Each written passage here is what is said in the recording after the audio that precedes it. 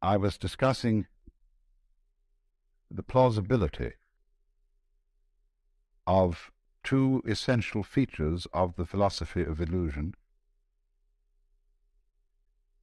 The question that we have to decide whether to take life seriously or not, that is to say, whether the plot is comic or tragic.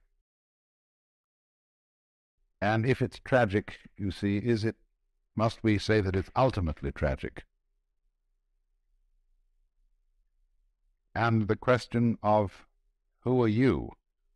And uh, are, are we to say that I myself, right down at root, am just a little kind of jerk of some kind that really has nothing to do with this cosmos, but just arises in it and is here on sufferance for a short period and then absolutely nothing follows, you see.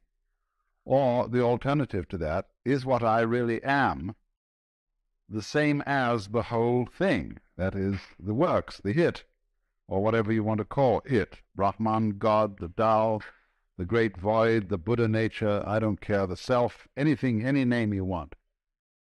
And uh,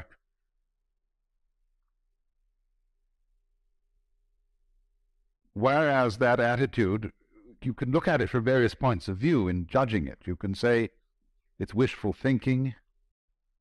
You can say that it's uh, insufferable pride. But the point of the matter is, as I tried to show, any other way of looking at things is kind of schizoid. It looks at human beings as if they arrived in this world like a bunch of birds on the branches of a barren tree. They just got settled there, you know, they don't belong. The sense of being strangers and pilgrims from another domain altogether. Well, where is this other domain? And how does it relate to this one? Are they separate? I showed you that even when we say that two domains are the poles apart, the very fact that they're poles shows that they have a hidden connection. And the hidden connection is the big thing in life. All you junkies know that.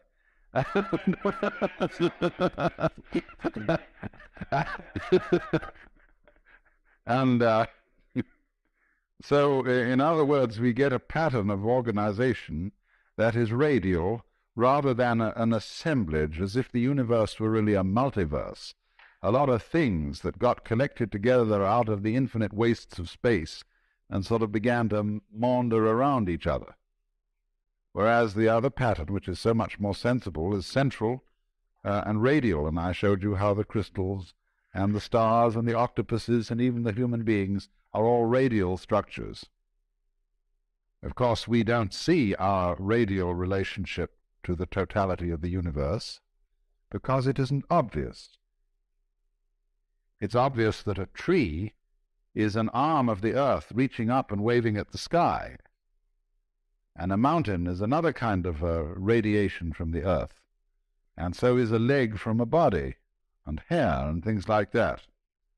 But what, what makes human beings, as the highest of the mammals, so uh, conscious of being independent is that they are topologically an enclosed surface, you see, which uh, wanders around independently of the ground. What we don't notice is that we are not independent of the ground at all, that wandering around uh, is something that is entirely related to there being some ground. In other words, when you run up a hill, uh, the hill also runs you up it. The hill rises and lifts you as you run, you see? And uh, if you understand that, you don't take a hostile attitude to mountains and hills. You're grateful to them for lifting you up so high in the air, because that's presumably why you went up, that the thing was high. It was lifted up. You wanted to be lifted up. It lifted you up. You had to cooperate, of course.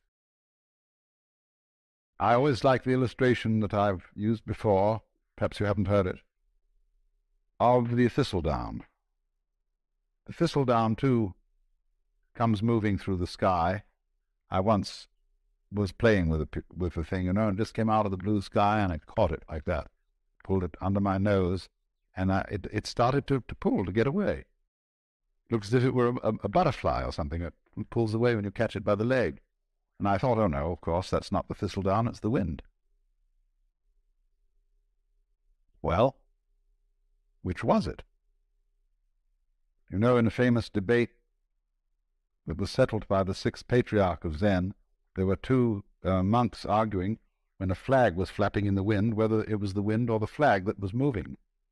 And he said, It's neither, it's the mind. And so, in a way, the same thing was true about the thistledown. The mind is the moving thing, because which point of view will you take? Which attitude of mind will you take towards this? Is it the wind moving the thistledown? Or is it the thistledown that is moving itself with the wind?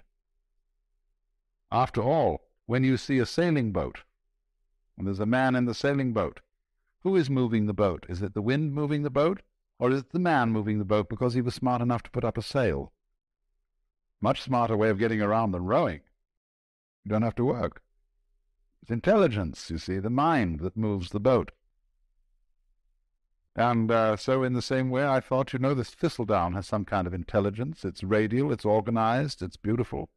And uh, it's used that to sail itself with the wind, to enable itself to pull like a little organism playing with the wind. And so, in just the same way, each one of us uh, uses the universe to get around, and the universe uses us to play with, and to make games and patterns, and to do its stuff. So, uh, because we seem to be disconnected and entirely sealed within our skin, that is a very deceptive thing, because the skin is not really the boundary of man. You will notice that in various periods of art, human beings have been shaped in different ways. And uh, have been more or less transparent at some times, at other times opaque, and uh, sometimes the emphasis has been on the state of mind which this human being is in. At other times, the emphasis is on the bodily conformations and so on. In uh, the work of painters today, one sees images that at first sight one doesn't recognize as being human. There was an exhibition at the Museum of Modern Art in New York some years ago called The New Image of Man. And uh, these things didn't look like human beings at all. Some of them did, but but that's because what does a human being look like? That depends on your point of view.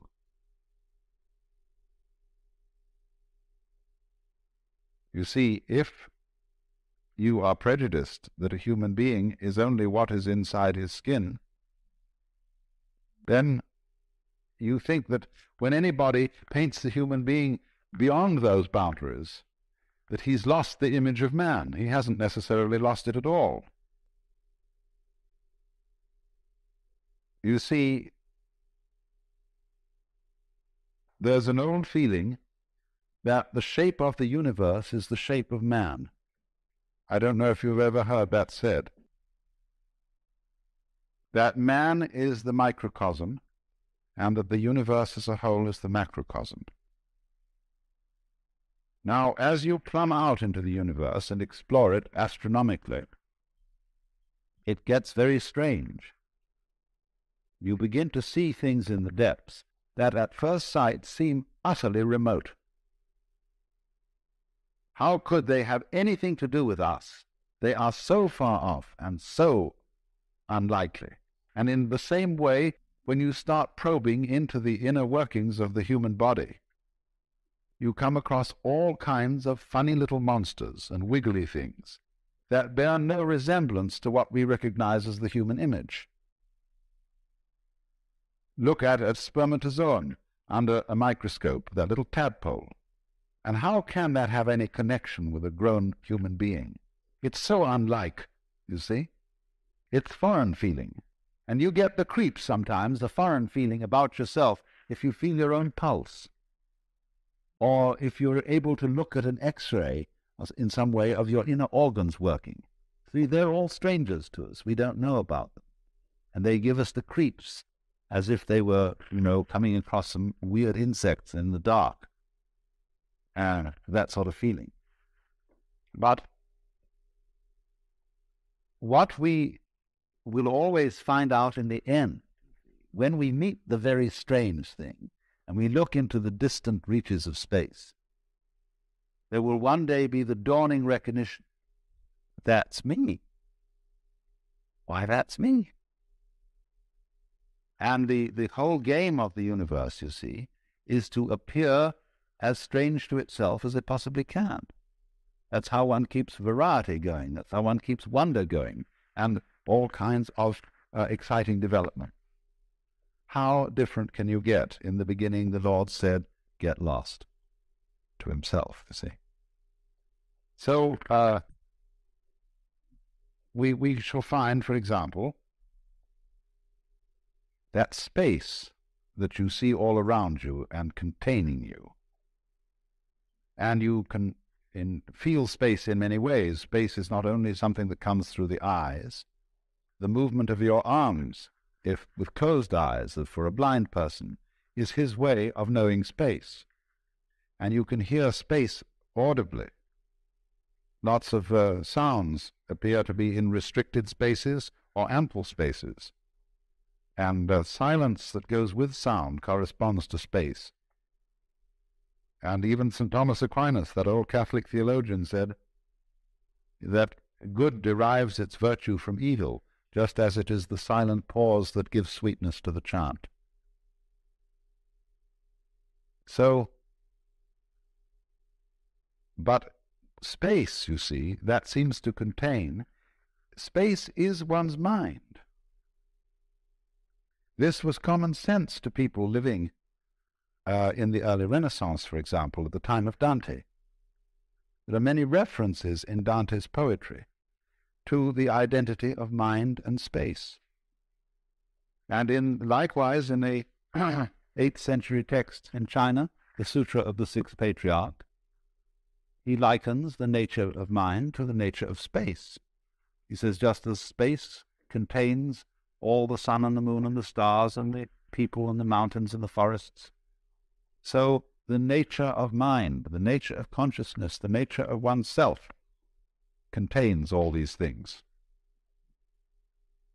So you see that if you think that way, you have an image of man that is global, that is very different from the image in which man is defined as bounded by his skin. That's a prejudice. We think now, for example, I have my own private thoughts. Well, nobody has private thoughts. Because one thinks in images and words, and these words and images are derived from the whole thought structure of the society in which you live. We think thoughts. The, the domain of mind is very similar to the grid structure of an electric power supply system. You know, what happens is there's a network of power stations and transformers so arranged that if one of them gives out and fails to supply a certain area, immediately the grid connects them with other sources of power. Well, in rather a similar way, our minds are connected. Let's take one very obvious example of it. What um, Northrop Frye calls the order of words. The order of words is all existing literature, both rhetoric, what is spoken, of course, and what is written down. Now, it's his theory that as a scholar, of literature and the history of literature, he can take any piece of writing of a reasonable length and tell you when it was written. Because everything that is written and said is inescapably related to the whole order of words. And it's amazing what little things you might not notice would give you away. Because he can say, well, obviously he has read this thinking, say, of a particular novelist or poet. So it must come after the date when that novel was published. But he couldn't possibly use an expression like that to say, for example, that it was a capital day. He would never, he would never use that expression living, say, in contemporary 20th century America. That's a Victorianism, or it's an Edwardian way of talking. And so, in by all sorts of little clues like that, the scholar can pin down a piece of writing to when it was written. You see? That is because every individual piece of writing is a function of all writing that's being done. Well, now that's a very specific and uh, almost crude illustration of something that's going on in a far more complicated way than that. It isn't only all writing, all thinking is being done in relation to the total order of thought. And uh, in a still more subtle way, all living is being done in relation to the total order of life, to what de Chardin calls the biosphere, and it goes way beyond that, because of the vast interplay of what we now call gravitational and electrical fields, which embrace everything that there is. That is why the ancients, when a person was born, cast his horoscope. That was a map of the universe at the time of that person's birth, and therefore it was a drawing of his soul, because the soul is not inside the body. The body is inside the soul. The soul, your soul, is the whole universe as it is focused upon your organism. Now, of course, astrology is a very primitive science, and it interpreted the influence of the universe upon the individual in very crude ways, and it works mostly by good guesswork on the part of the astrologer. Uh, if you know how to tell fortunes at a fair, uh, you will find out a great deal about how all these predictive uh, psychic sciences work, because the, the client invariably gives himself away, either by his anxiety to be told the truth or by his anxiety to conceal it. They work equally well. But, but there is, you see, underneath the astrological notion, a sound idea that the true map of the soul is the picture of the universe surrounding the individual. It isn't necessarily the, your soul is not the picture of the universe just at the moment when you were born, you see. It goes along all the time you live because the whole thing expresses itself through you.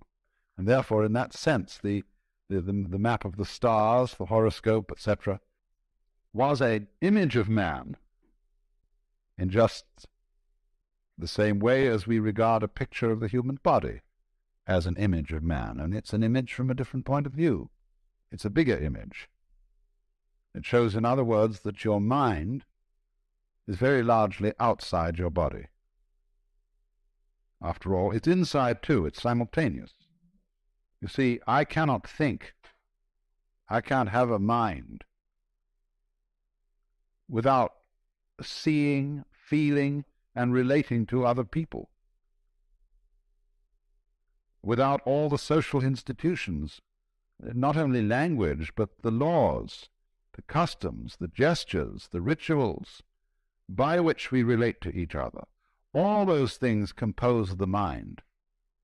For the mind is a huge network of relationships and interconnections at a high level of sensitivity. Mind and matter are, of course, polar. They go together. They're two ways of thinking about the same thing, or shall we say, two dimensions of the same thing. Just like uh, length and breadth. Or just, shall we say, like shape and color. You see, nobody ever saw a shape that wasn't colored. Nobody ever saw a color that wasn't shaped. And yet we can see there's a very clear difference between color and shape. But they always go together, they're always found together. Well, it's the same sort of relationship between mind and matter and the difficulty that people have in trying to reduce one to the other and saying, well, the world is only material, or saying, on the other hand, that it's only mental, is the same difference you would have in trying to reduce all shapes to colors or all colors to shapes. Shape and color are made for each other, like a marriage made in heaven. They go together so perfectly, and yet stay so marvelously different. That's why the Buddhists say, difference is identity. Identity is difference. it sounds goofy, but it makes a great deal of sense, because what it's saying in, is a relational thing. That you don't know what identity is unless you know what difference is, and you don't know what difference is unless you know what identity is. That relationship between so-called opposites is called in the Chinese technical Taoist vocabulary mutual arising. So they say to be and not to be arise mutually. High and low are mutually posited. Long and short are mutually delineated, and so on.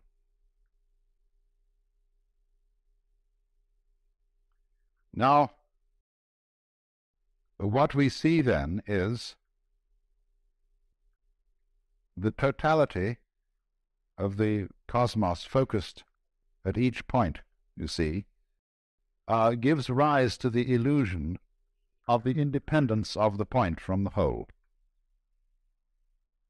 Just as the human being, by virtue of having an enclosed epidermis, and to be able to walk instead of having to be rooted to the ground, presents the illusion of being separate. And so that's why I asked uh, Vada to uh, do these demonstrations last night, because he showed visually the interdependence of the figure and the background,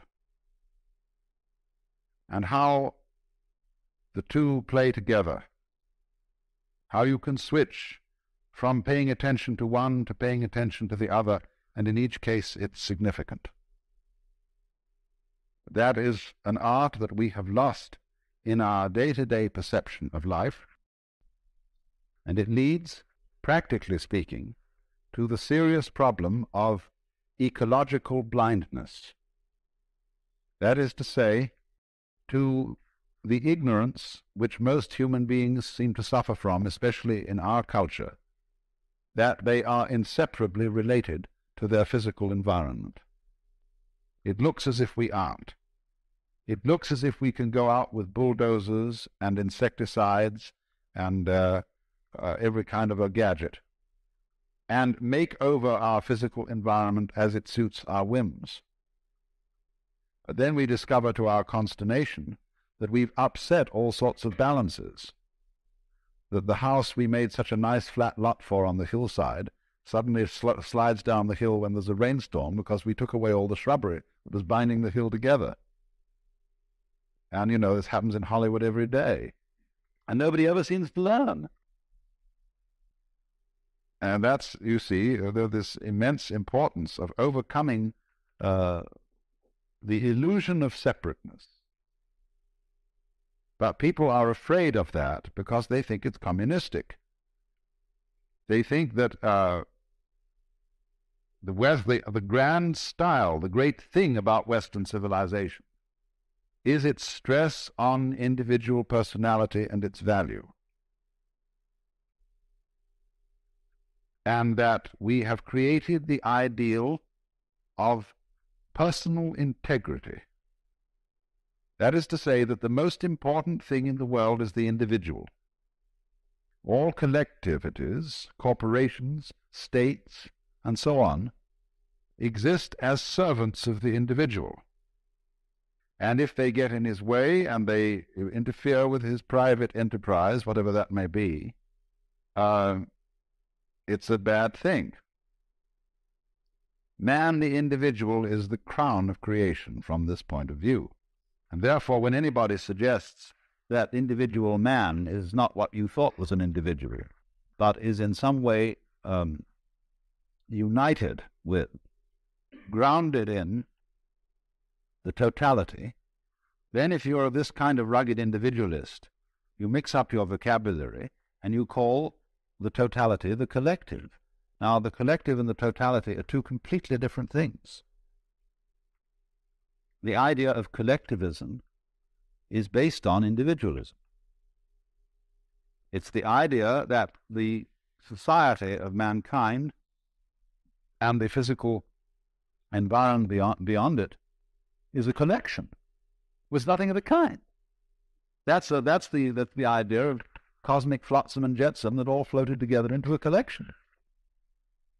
And that's the obverse of individualism.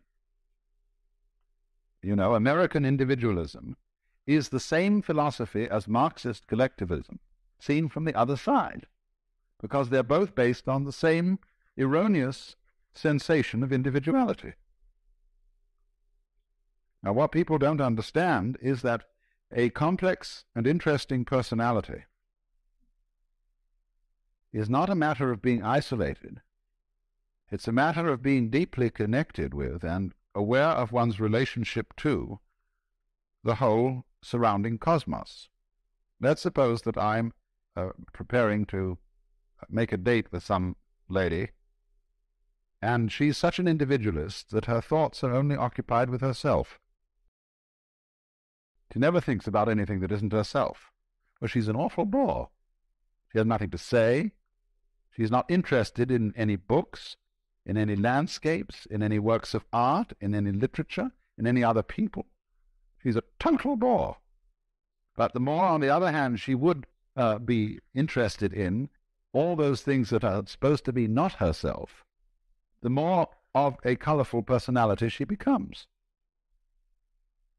So the, the, the rule is to get away, you see, from these ideas of the individual uh, as finding his individuality and uniqueness through independence, but rather finding his individuality and uniqueness through being related.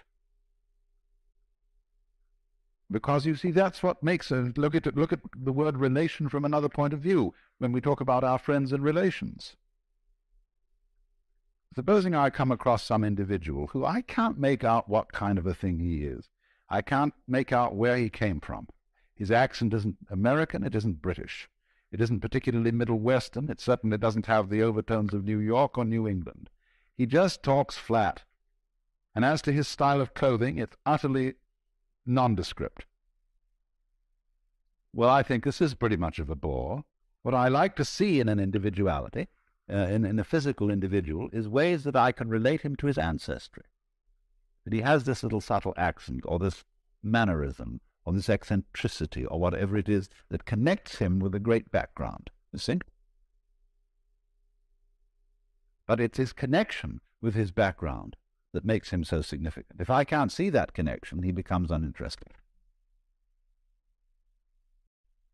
So there is no thought in this approach to devalue the individual.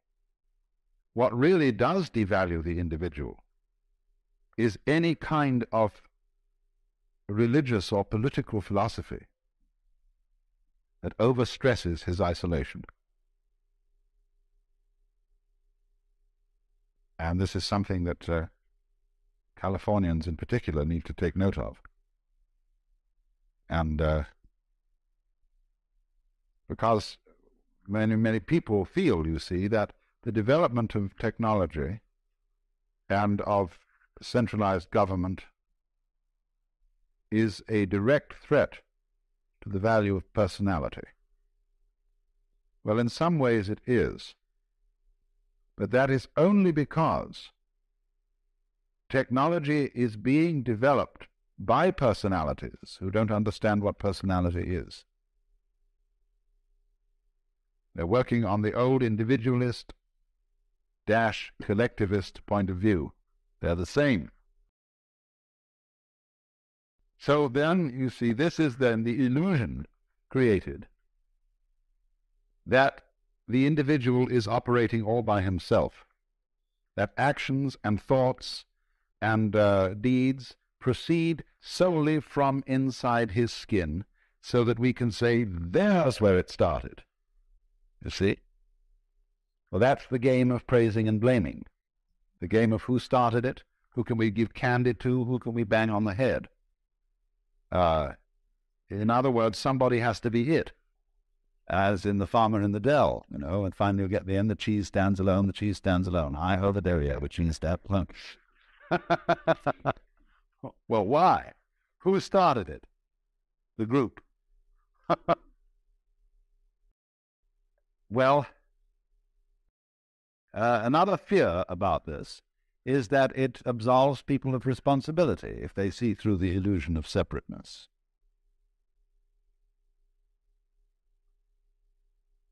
Uh,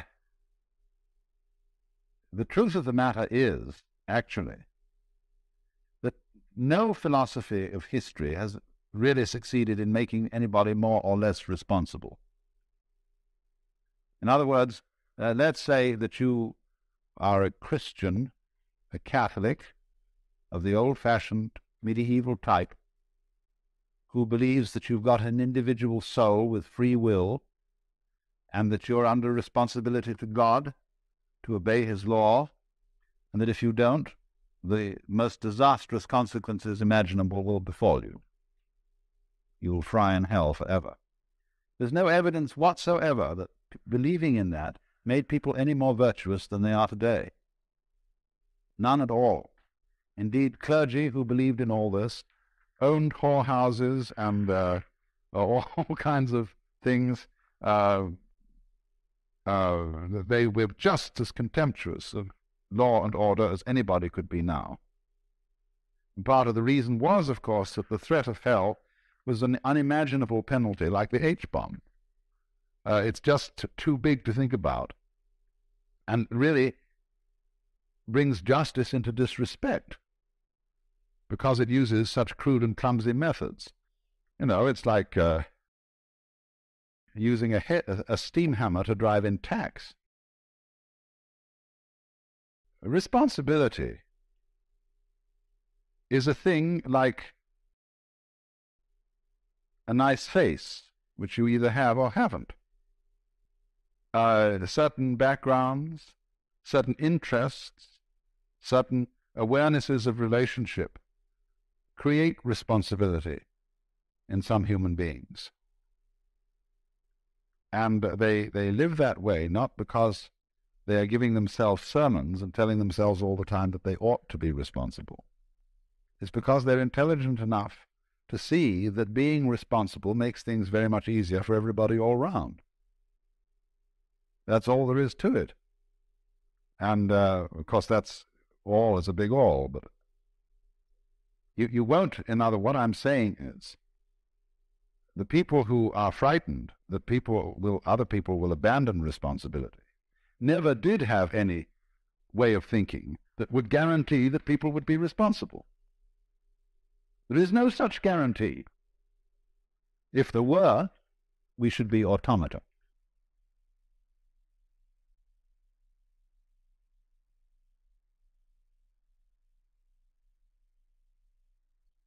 Now, I want to switch to another aspect of illusion. The quickness of the hand deceives the eye. And that is, of course, the great illusion of what we call matter. Density, impenetrability, opacity. I find it hard to talk about the illusion of matter because I'm a materialist. That is to say, I like material. And though I may seem to you to be quite self-contradictory. For example, a wine should have body. Pure alcohol doesn't. And it's terribly important in human character for there to be a blend of materialism and mysticism, between sensuality and spirituality. You see, people who are purely sensuous and materialistic get very boring. You can fill your lives with all good things, with uh, Alfa Romeos and hi-fis and wonderful cameras and girls with beautiful bodies and uh, Chris Crafts and uh, dry martinis and Chanel number five, you know. And after a while, if that's all you've got, it gets sickening and the bottoms begin to feel like plastic and the martinis taste like medicine. and somehow, bleh, you get a distaste for life and even for mountains and trees and waters. And then on the other hand, the purely spiritual approach to things is uh, too rarefied, too earnest, too abstract, too uh, purely Euclidean. And uh, the, the people who are intensely spiritual and don't have any sensuality are always desperately serious, colorless, lacking in humor, and never are able to meet one as man to man with a kind of a friendly leer in the eye. Oh, they live at a level of frantic intensity. I see these two extremes need each other. I would say spirituality needs a beer and a loud burp, and sensuality needs a, a rough blanket and a hard bed and a cold night with the stars, you know, to wonder about. The sensualist as such, the materialist as such, has no wonder, and the mystic, the pure mystic, has no body. He's pure alcohol.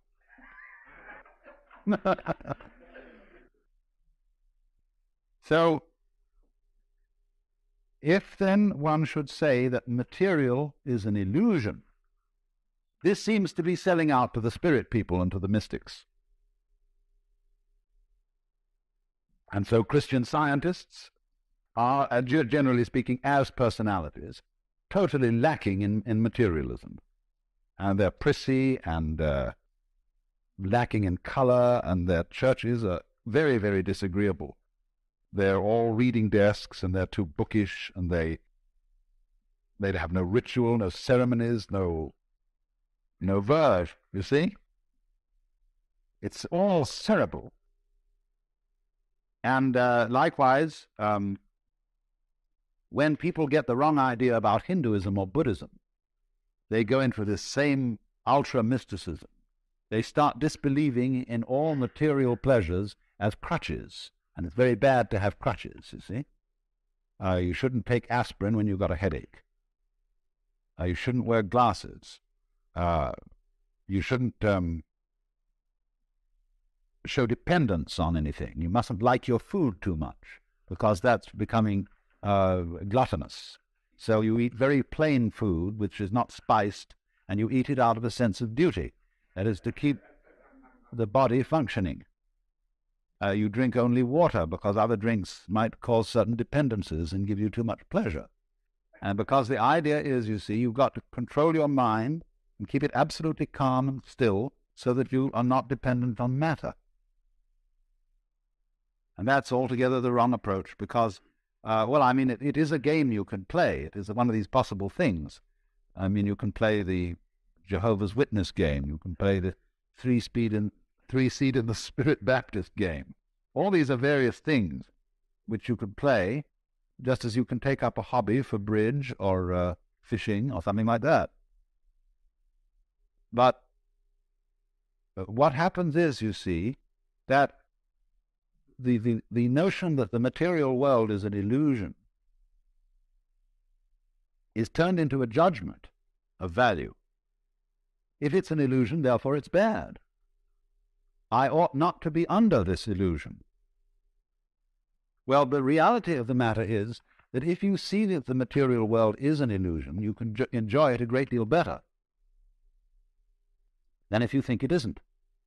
A true materialist, therefore, is one who knows that material is an illusion. Then he is not afraid of it.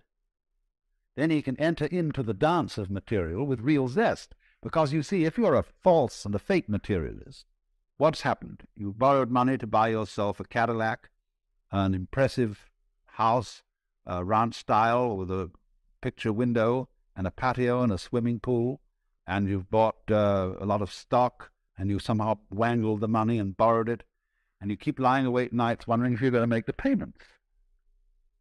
Well, there's no point in that at all.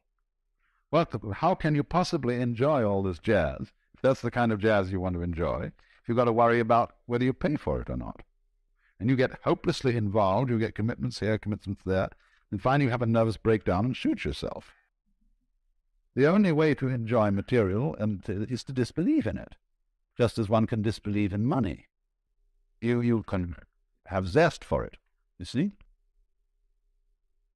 Otherwise, it's much better to be poor. I mean, if you if you have no taste for the, this kind of life and uh, no real interest in it, but feel that somehow you ought to have it for status reasons, much better to stay poor.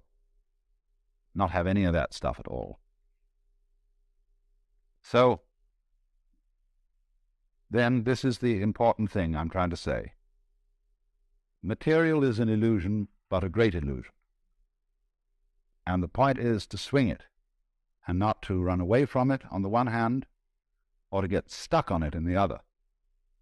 Then you can play with it. Just like a wheel going round. The wheel is too loose on the axle, it wobbles all over the place. If it's too tight, it won't revolve. But you kind of sit loose, you see, to this thing. Not too loose, though. Now, in what way, then, is the material world an illusion? Well, we know a lot about this now from our physics. And we know that what we call solidity is force, contained force. The agitation of particles or wavicles or whatever they are at such an immense speed that they become impenetrable to other agitations. So that when I put my foot on the floor, the reason it doesn't go through the floor is that the floor is coming into existence and going out of existence so rapidly that there is no interval through which my foot can penetrate. Like an airplane propeller, you can't put your head through it without getting it chopped off. Only that if it were going far faster still, it wouldn't even cut your head off. It would just be like banging your head against a brick wall and it has to be going fast too within an extraordinarily small and restricted space. The airplane propeller is whizzing around through a considerable space in relation to the size of a head. But if it were going much faster, but through much smaller spaces, you see, then it would be like banging your head against a brick wall. So what we've got in our so-called physical objective world is um, a behavior of energy where matter arises from it through its behavior in restricted spaces. Density is a quality of space rather than a quality of matter, if you see what I mean. I gave the illustration of the airplane propeller to try and show that. So that uh, all this is an electronic, diaphanous world. Very similar to uh, other creations of electronic patterns, the dance of forms on the TV screen, the uh, rainbow, uh, the aurora borealis, uh, it's all fundamentally like that. Only we are of the same kind of jazz, you see.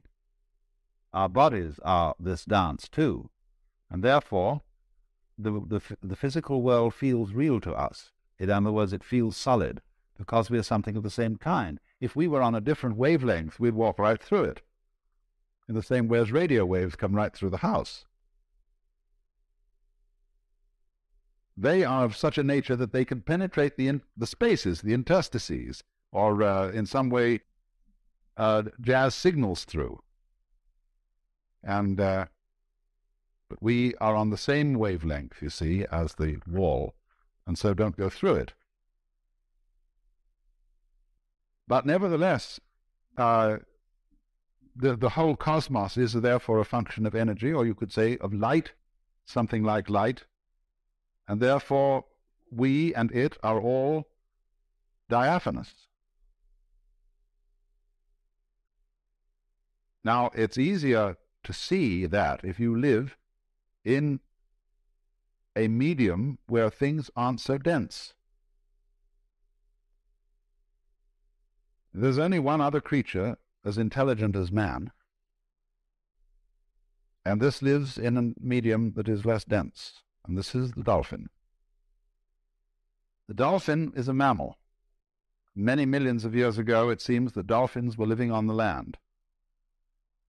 But they are very clever. And they decided that the land was no place to live. Because getting food was difficult, and you had to lug yourself around. And uh, there were many, many bad shows about the land. It had very curious changes of temperature.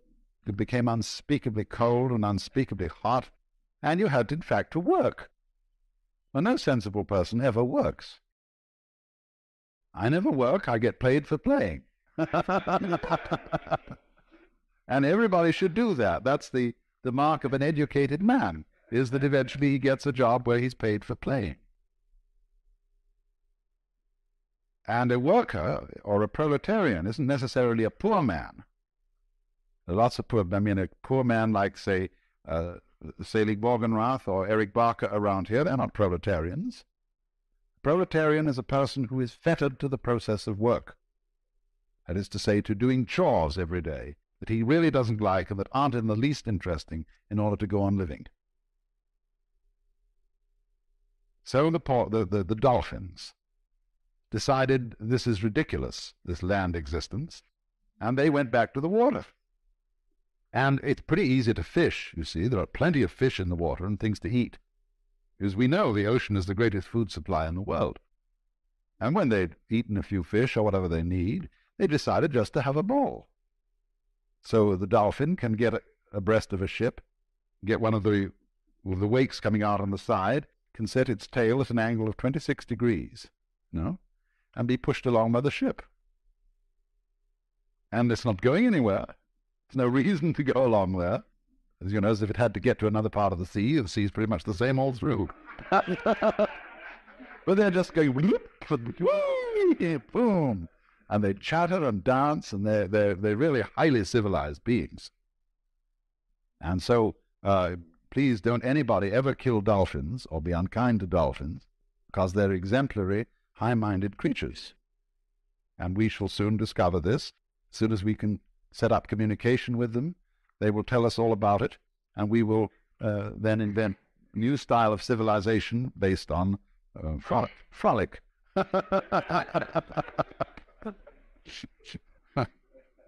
but you see, they, they, they, they dance in the in the mode of water. Now, human beings, uh, as Toynbee has pointed out, as their civilization progresses, they begin to lose their roots. And they are less and less tied to the land. They go into the air. And what's going to happen uh, as if man develops without blowing himself to bits, if he can get over the hurdle, you see, that dangerous point, is that gradually all roads are going to disappear.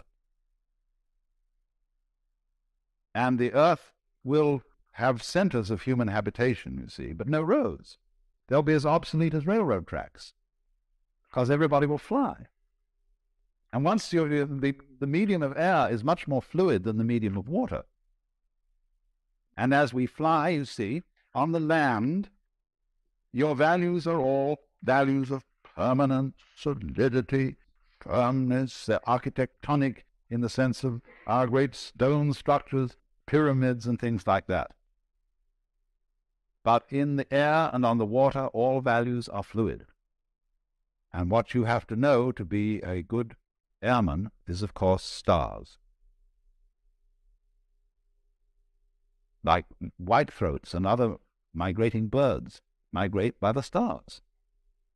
But once you start relating yourself to the stars, you realize that you're living in a universe where directions are all relative. And you become a being capable of existing in non solidity. And that's why Buckminster Fuller, you know, believed that technics and really all culture came from the sea. The men who first learned to sail were the wise men.